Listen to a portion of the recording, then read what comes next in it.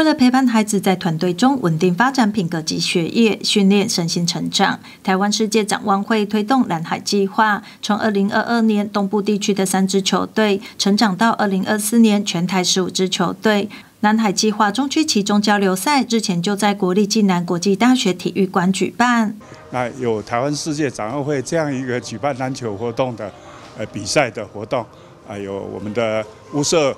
呃这个。呃，鹰队还有三层，呃，冲锋枪队、彰化曼巴队，还有新力梦梦幻队，他们总共有二十个，呃，呃，四个队伍哈，四个队伍来组成。那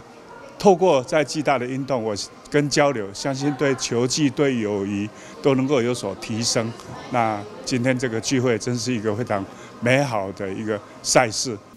先院林廷利表示，教育是百年大计，并且教育的层面也不仅是学业上面，因此对于小朋友各种才能上给予适当的培育，对于孩子们的发展绝对是更有帮助。我认为教育是百年大业哈，那当然教育的层面不是只是学业上面而已，更是应该要因材施教。我想那么多小朋友，如果能在发掘他各个专长上面的一些才能，然后能够给他们适当的一个培育，我相信他们的未来的发展绝对会是更棒的。那今天很有很高兴有这个荣幸能够受邀来参加这个这么有意义的活动。我想，